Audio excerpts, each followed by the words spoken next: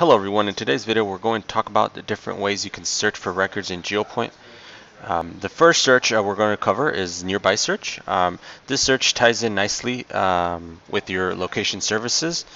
Um, so you know the moment you log in, you know the, the browser is going to pick up your current location. So if you wanted to search records around you, just make sure nearby search is selected um, and set the appropriate range. Um, and then click the, the data set that you want to search for. Um, you can also change your location. So let's say you're planning a trip to Las Vegas um, and you're wanting to change uh, the location you're searching from. You can um, can easily do that um, by utilizing this uh, this address places search. So you click there on the magnifying glass, go ahead and uh, type in the place you're wanting to search from. That'll change your your location, and then you can just you know refresh the data set, um, and it will update that for you. Um, uh, Next uh, one we're going to talk about is uh, shape search. Um, our shape search option is great for visualizing your records within the confines of a geographical area. Uh, so you can draw a shape on the map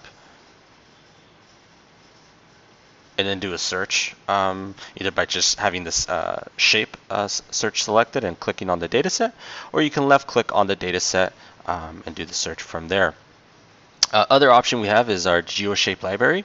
Uh, the GeoShape library can be accessed by clicking on the plus button uh, and just adding um, kind of shapes from there, or you can click on the little world on the right hand side.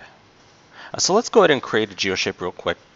Um, if we know the name of the shape uh, we want to work with, uh, we can just search for that. So, you know, I'll just search for California and then drill down um, to the to the zip code level.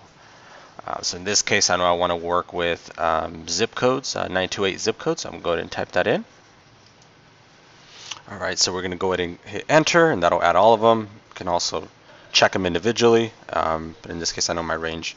So um, yeah, and just go ahead and give it a name. And saving that to map. I'll go ahead and add it, click on my layers, and then just zoom in, and that'll take me to that uh, zip code shape I just created. And then from here, I could just run a search um, within that shape. And the next search we have is map view. It's pretty straightforward. It's just going to search the viewable area. And next everywhere, that's just going to search the whole world. Okay. All right. So that is all for now. Thank you for watching. Have a great day.